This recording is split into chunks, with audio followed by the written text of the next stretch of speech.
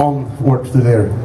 So we have never played this song live before because we thought, as a matter of respect, the first time this song was supposed to be played live should be in Poland.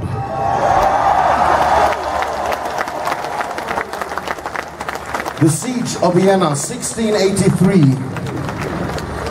Jan Sobieski III, commander of the Holy League, they came exactly in time. The Winged Hussars!